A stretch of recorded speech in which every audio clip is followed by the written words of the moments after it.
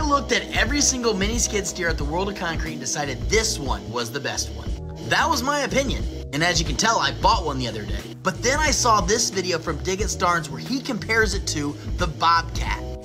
I think the Kubota has one of the best designed stand behind skid steers on the market. I've operated it, my buddy has one, and I think it's great. Compared to a Bobcat, it makes Bobcat look like trash.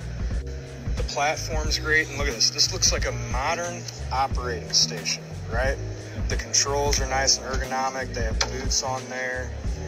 Everything's right where you need it. It's ergonomic, it's modern looking. It's great, right? Now let's compare this to a Bobcat. It, this thing literally makes Bobcat look like an off-brand machine. So look at this, right? This is the brand new 2024 Bobcat control setup.